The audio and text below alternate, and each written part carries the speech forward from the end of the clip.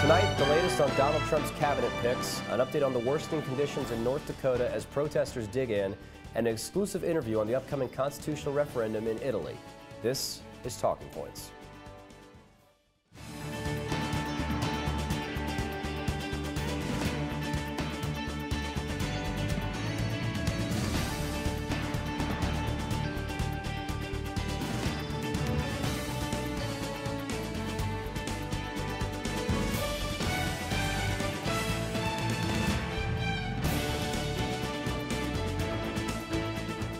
Welcome to the December 1st edition of Talking Points. I'm your host, Alex Amico. We begin tonight with the latest picks for President-elect Donald Trump's cabinet. Most recently, he chose former Goldman Sachs CEO Steve Mnuchin as his Treasury Secretary. However, an effort led by Green Party candidate Jill Stein has raised the money for a recount in Pennsylvania, Michigan, and Wisconsin. Here to break down the president-elect's wild week are Talking Points election correspondent Dan Prager and contributor Galat Malamed. Guys, thank you for joining me. So let's start about talking about this recount. Uh, is there any merit to it, and is there any chance it could change anything?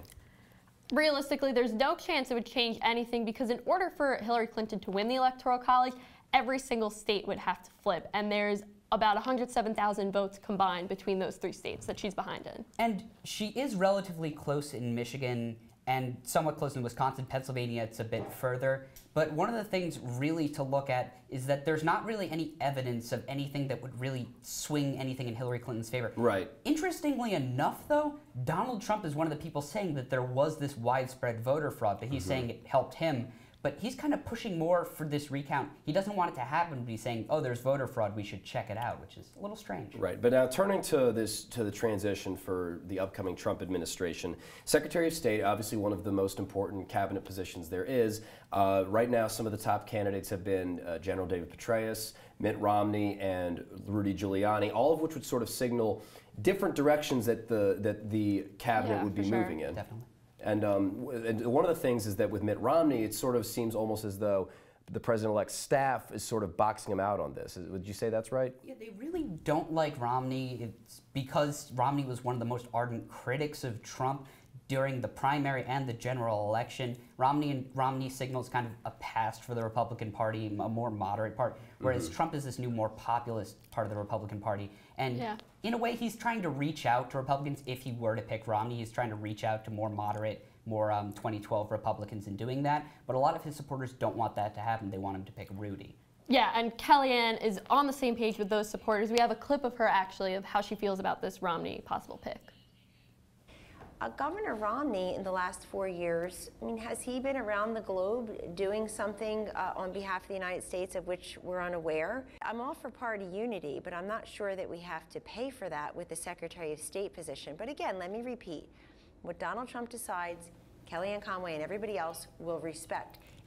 Another thing, really, is that um, Romney would be easily confirmed. Democrats would like him because he's a more moderate pick. Giuliani would kind of have a tougher time doing Rand it. Rand Paul's already yeah. said that he wouldn't support him, and Trump yeah. has a pretty slim Republican majority in the Senate right now. Yeah, and then with General Petraeus, I mean, mm -hmm. that's uh, he obviously his um, mishandling of classified right. information Trump ran his campaign basically saying, mm -hmm. look at what Hillary Clinton did with classified information, lock her up, but and now, now possible Secretary of State at. I, I want to look at some of the other cabinet picks in a minute. Uh, he announced uh, for Treasury Secretary, Goldman former Goldman Sachs banker. He announced um, Tom Price for Secretary of Health and Human Services. He's been in Washington for quite a while. Um, Trump ran on this, uh, and, and the possibility that Mitt Romney could be picked. Yeah. Trump ran on this on this concept of drain the swamp, shake up Washington uh, by picking a Wall, Wall Street banker and some other Washington insiders, is he sort of going back on that promise a little bit? He, I, he definitely is. I mean, especially the fact that he was one of the heads of Goldman Sachs, and again, this is what he criticized Hillary Clinton so much for being too cozy with Wall Street.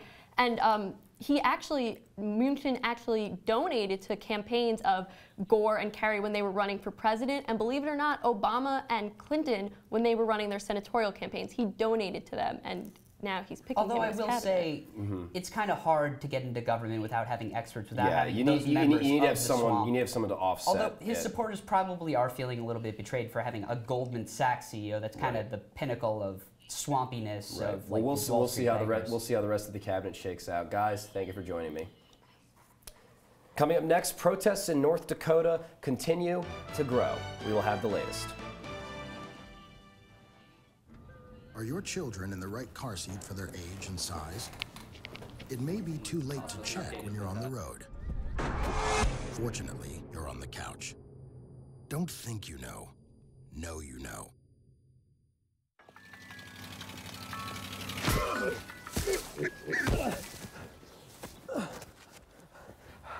So, same time next week?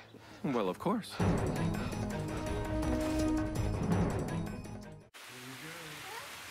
Here we go. We're gonna go out there in the rain. Gonna get wet. All right, here we go. Oh,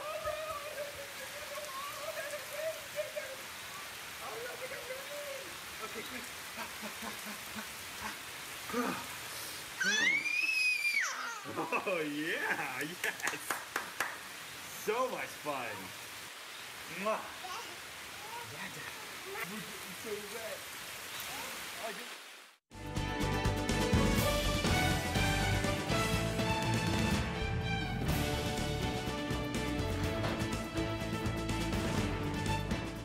This afternoon, members of the Syracuse community gathered in Perseverance Park in downtown Syracuse to encourage people to close their accounts with Chase Bank. The activists called the event an act of solidarity with the people of Standing Rock. Chase Bank is one of many that funds the Dakota Access Pipeline. Our own Jamie Weiss was on the scene earlier today. Alex, I'm here in Perseverance Park where members of the Syracuse community have been standing in solidarity with Standing Rock. The people you see behind me at that tent have been handing out flyers like these ones, urging people who are customers of the big banks like Chase Bank right here to close out their accounts in order to defund the Dakota Access Pipeline. According to the volunteers here, they've been telling me that big banks like Chase Bank, Bank of America, PNC, and Citibank, just to name a few, are some of the banks that are funding the construction of the Dakota Access Pipeline. By closing out those accounts, they are hoping that it'll make a difference, even though we're a thousand miles away from Standing Rock. Once again, I'm Jamie Weiss in downtown Syracuse. Thanks, Jamie. Tensions are escalating between protesters and authorities over the Dakota Access Pipeline. Over the weekend, the Army Corps of Engineers and the North Dakota governor ordered protesters to leave their camps by December 5th or face arrest. But demonstrators say they aren't going anywhere. Thousands of protesters and members of the Standing Rock Sioux tribe have been camped out along the Cannonball River in North Dakota since early this summer. More than 500 people have been arrested in total. Here with more on the rising conflict is national correspondent Sarah Nevin. Sarah, thank you for joining me. So we've been following this all semester. There have been different spikes of violence, there have been different escalations in the protests, but the protesters have never been forced to actually leave. Why is that? Yeah, so the main reason is safety. If you look at the video, winter has hit North Dakota. Demonstrators are living in the middle of a snowstorm in makeshift tents. So law enforcement says that anyone who stays does so at their own risk. However, they are taking uh, precaution. They're saying they're going to start blocking people and supplies from getting into the campsite. And people who do stay could face arrest for trespassing. So that doesn't really give protesters a lot of options for staying. So with this this winter weather coming in, it's not just winter, it's winter in North Dakota on the plains. It's a harsh winter. They're still staying. What is what's driving this determination among the protesters? I mean, they've been there for five, six months now, and they really have national attention now, and they don't want to get rid of that. And since the beginning, they've really been sending the same message. They feel their wa- main water source is at risk, and so is their well being. We have a clip from one of the Standing Rock members, Chase Iron Eyes, speaking about this issue.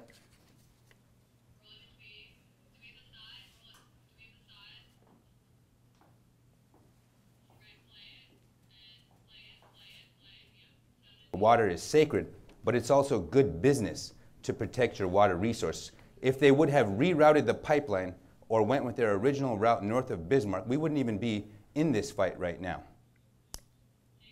So, Alex, in early summer, there were only a few hundred people protesting. Now there's nearly 10,000. So they really are in for the long haul. And this new order about um, if they stay, they could be arrested for trespassing. In response, a couple thousand veterans have said that they're going to go to join the protesters. What's going on with that? Right, so that's an effort created on Facebook by a former vet called Veterans Stand for Standing Rock. And so uh, signups were capped at 2,000, but about 2,000 veterans are going to go to the campsite and act as a human shield between protesters and police from December 4th to December 7th. And like you said, it's really just a, an act of not of solidarity motivated by the increase in violence. Well, it certainly seems like this issue isn't going away anytime soon. Sarah Nevin, thank you for joining us.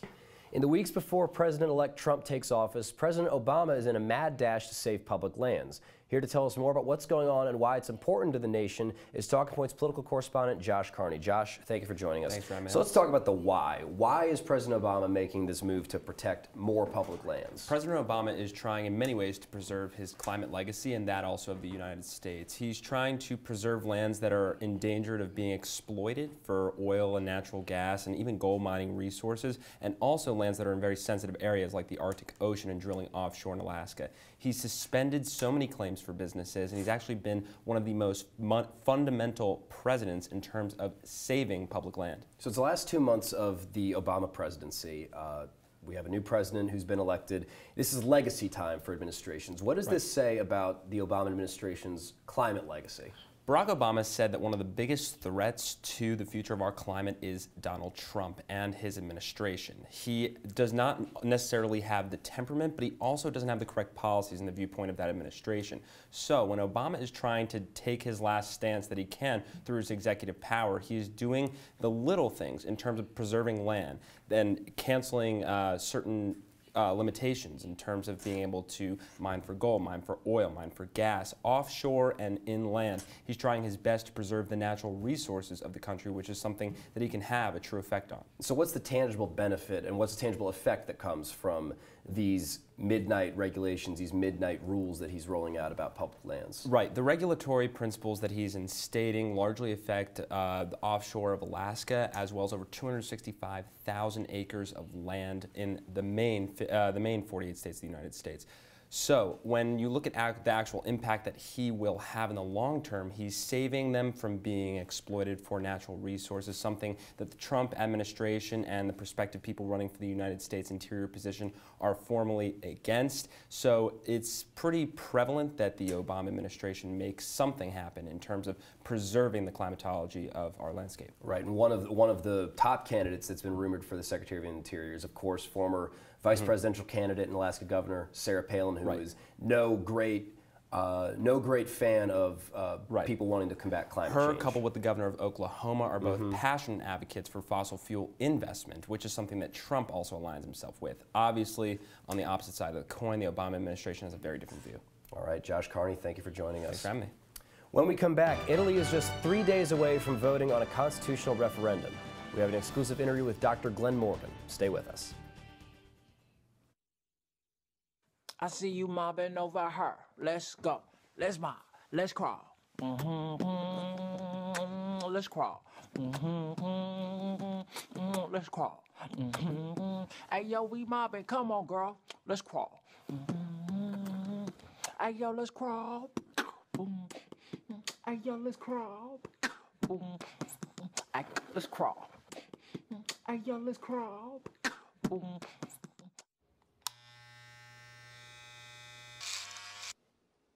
You've messed up your son's haircut.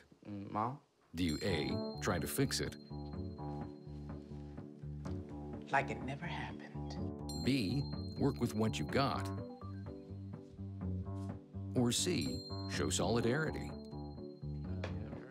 Thank you, baby. As a parent, there are no perfect answers. But you don't have to be perfect to be a perfect parent. Thousands of teens in foster care will love you just the same.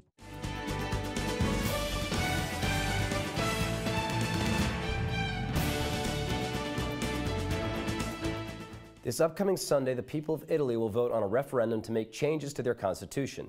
If passed, the referendum will shrink the size of their Senate by more than 200 seats. Prime Minister Matteo Renzi has previously vowed to step down if the referendum does not pass. With Italy's political future in the balance, I sat down earlier with the director of the Moynihan Center for European Studies, Dr. Glenn Morgan, to break it all down. Professor, thank you for joining us today. Um, first question is about the referendum. If it were to, if it is to pass, how will it change the Italian government? The referendum of December the 4th will change the Italian political system in three ways. At the moment, the Italian political system is unique in that it gives power to both the upper house and the lower house in equal measure. Both houses can introduce legislation and no law will pass until both houses approve it. Mm-hmm. So it is a system that's set up to weaken the governmental party. The referendum will increase the power of the party that wins the election in three ways. One, it will shrink the Senate, which at, at the moment is an unwieldy 315 mm-hmm. senators, down to 100. Second, it will increase the ability of the government to enact legislation by changing the electoral system. So when a party wins 40% of the vote, it will get 55% of the seats. And thirdly, it will change the balance of power between the central government and the local government. It will give a lot more power to the central government. In short, this referendum is designed to increase centralization in Italy and give more power to the party that wins the election. And so, similar to when we were coming up to Brexit in the United Kingdom, when David Cameron said if it were to pass, he would likely step down. Uh, the Prime Minister of Italy, Renzi, has said he will step down if the referendum loses. Who's next in line for Italy if that were to happen? Well, I think there are two scenarios. Uh, he will resign, and on one scenario, the president of Italy will go to him and say, The country needs you. Please stay. Mm-hmm. And he will go to the people and say, I wanted to resign, but the president has asked me to stay. I think that's less likely than the second scenario. The second scenario is the president of the country will choose someone from within his party, probably the economics minister, Padoan, and ask him to step in and become prime minister. An unstable year or so Absolutely. for liberal Western democracy. We, we had the Brexit vote to leave Yep. to, for Britain to leave the European Union. We've had the election of Donald Trump in the United States, Yep. and we've had um, a very real possibility in the French elections of the National Front Yep. winning um, their election. What direction are Western democracies heading, and where would you put the situation in Italy on the scale of the previous events that I just mentioned? Right. Well, Western liberal democracy is in trouble. Um, the old order of um, trade, uh, transatlantic alliances, um, and liberal democracy have all taken blows over the last six months. Brexit was the first blow. It was a great surprise to the establishment. It was the rise of a white working class who felt that they hadn't won through uh, globalization and Europeanization and voted for protectionism, voted for nationalism against cosmopolitanism. Same pretty much with the Donald Trump election. It was the vote of people who felt that they'd lost out from uh, trade and from all these uh, alliances that America had um, developed over the last 40 or 50 years. Do you think the referendum will pass? No, I think the referendum will fail. I don't think it will fail by much, uh, but it will fail. But there again, I was wrong about the Brexit vote. I was wrong about the Trump vote. So I don't bet on anything so I say. Were, so were we all. Right. Well, Professor, thank you for joining us. Thank you for having me. The death of former Cuban President Fidel Castro is generating talk about the future of relations between the U.S. and the island nation. President-elect Donald Trump says he'll scrap the deal President Obama struck with Cuba that restored diplomatic relations unless Cuba frees political prisoners and gives its people political freedom. Talking about international correspondent Tom Austin is here to tell us what the state is of U.S.-Cuban relations and how things could change moving forward. Thanks, Alex. Yesterday, hundreds of Cuban exiles in Miami gathered Wednesday to protest Fidel Castro's regime and to demand freedom for the Cuban people. And JetBlue Flight 337 took off for Cuba, the first U.S. commercial flight to do so in more than a half century. U.S. carriers are expected to churn out over 100 flights daily in due time. This comes just under two years after President Obama and Cuban President Raul Castro announced that the U.S. and Cuba would restore full diplomatic ties. Now, restrictions on travel for U.S. citizens were included in the deal, but only to the extent that Americans have an excuse. There are 12 categories of authorized travel, uh, which include family visits, journalistic activities, uh, educational activities, and religious activities. Now, additionally, the deal includes economic cooperation between the two, and American travelers are to be able to use U.S. credit and debit cards. U.S. companies can invest in some small businesses, and companies can export building materials to private Cuban companies as well as communications devices to the Cuban people. While the U.S. trade embargo of Cuba remains intact, the U.S. U.S. has become Cuba's fifth largest trading partner, much thanks to its food and agricultural sector. The U.S. and Cuba have also started to cooperate more on security, education, health, and the environment. And now, that's the state of things currently, and because they were all implemented via executive action, Trump also has the executive power to undo them, as he threatens to do with his tweets. That means closing the embassy, stopping flights, and re implementing trade restrictions. But as we've come to understand with Trump, words are one thing and actions are another. Thanks, Tom. There have been new gains in the battle for Aleppo in Syria. Government troops recently took control of a huge swath of rebel controlled territory, splitting resistance and isolating both rebel and Kurdish forces fighting Bashar al Assad. This has prompted a renewed exodus of refugees fleeing the renewed fighting. Talk Points international correspondent Elijah Shama is here with more. Elijah, thank you for joining us. Thanks for having me. So, this new territory that the rebels have lost, what specifically is it and why does it matter? Basically, we're looking at eastern Aleppo. And what really matters is that they've kind of separated Kurdish rebels from regular rebels, from the Free Syrian Army. And these are people that they kind of need each other's support to survive. There's basically a rebel enclave that has been completely sectioned off. And it matters because when you're fighting surrounded by all sides, it's generally a much harder fight. So you mentioned a couple rebel factions there. Who's still fighting in Aleppo? And what does the what does it its ultimate fall mean for resistance in Syria? Right now, the Free Syrian Army is still fighting in Aleppo. You also have Kurdish groups, and you have um, kind of more extremist groups in Jabhat al-Nusra, and then we see kind of Russian airstrikes and um, and Allied airstrikes.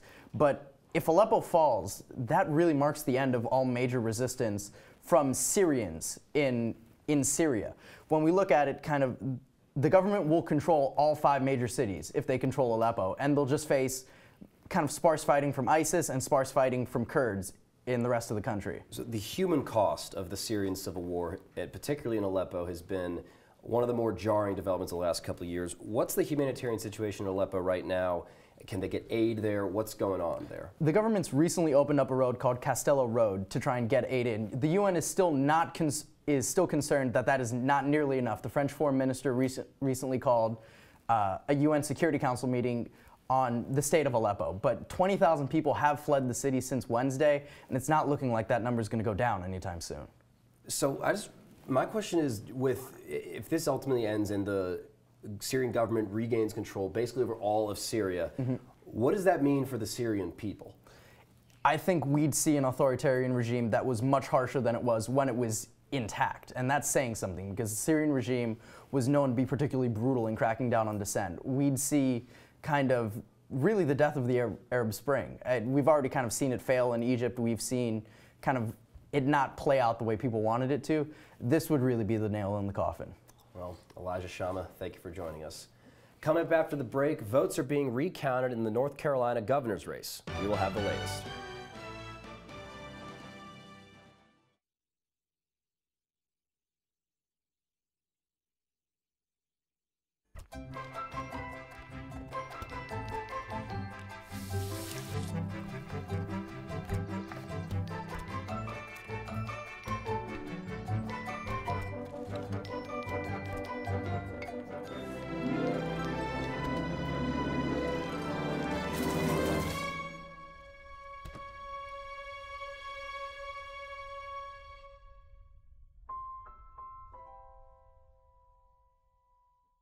Adventure can be found anywhere, but the best place to start is in the forest. I spy something beginning with S. Snow? No. Snow-covered trees? Nothing to do with snow. Head outside to discover incredible animals and beautiful plants that come together to create an unforgettable adventure. Wow. So grab your loved ones. Don't even. And explore a world of possibilities. Come on, this way. Visit discovertheforest.org to find the closest forest or park to you.